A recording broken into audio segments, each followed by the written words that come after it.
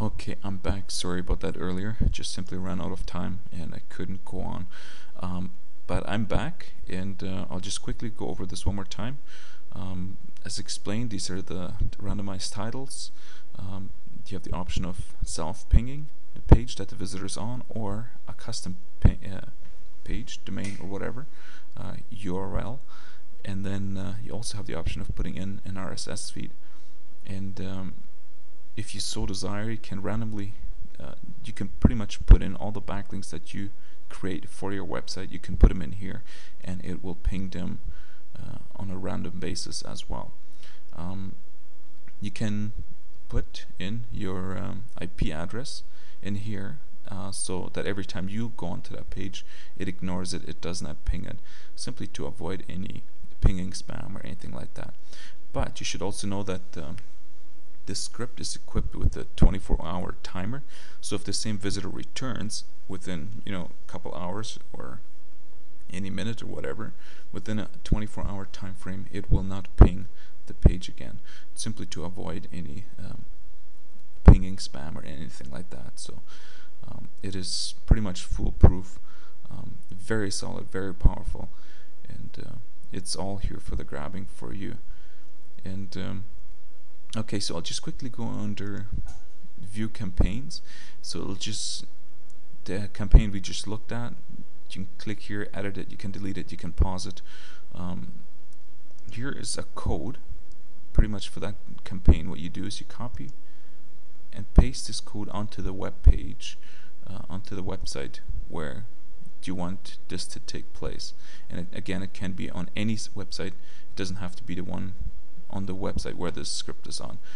So let's say you're uh, you have a dogtraining.com blog, you can simply put this on the main page, and every visitor that comes on there will ping um, the links, URLs, and everything that you have in the uh, in the campaign. Um, going back here, you have a stats page. It shows you the statistics. Uh, no stats found. Um, it simply means that this campaign has not been pinged yet uh, but it shows you how many times it's been pinged everything very detailed.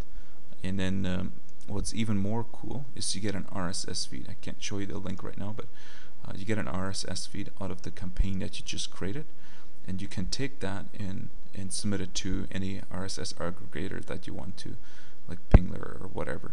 Um, but again all these details will be in the report and uh, I can um, will show you exactly how to best go about it and in the whole nine yards, everything that comes with it.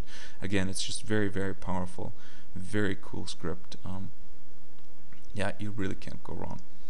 Um, to go into further detail, uh, I should maybe just leave this out here, but just to give you an idea of how powerful this is uh, for the RSS that randomly is created from your campaign. Um, you can control every aspect of it as well. Uh, it randomly takes your keywords, plants them in here into the description, the RSS feed description, description, and you can randomize the text that appears in the description as well.